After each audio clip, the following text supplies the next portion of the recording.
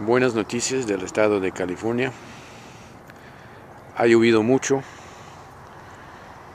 y los lagos y los, las lagunas están casi llenas. Aquí estoy en el Lexington Reservoir, afuera de San José y Los Gatos, California. Y se ve que casi está lleno.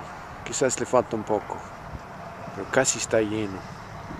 Y qué buena noticia para los que estamos aquí en California, porque las noticias muchas veces de aquí no están buenas en estos, estos días, pero el agua sí, y es lo bueno porque sin agua se complica la cosa.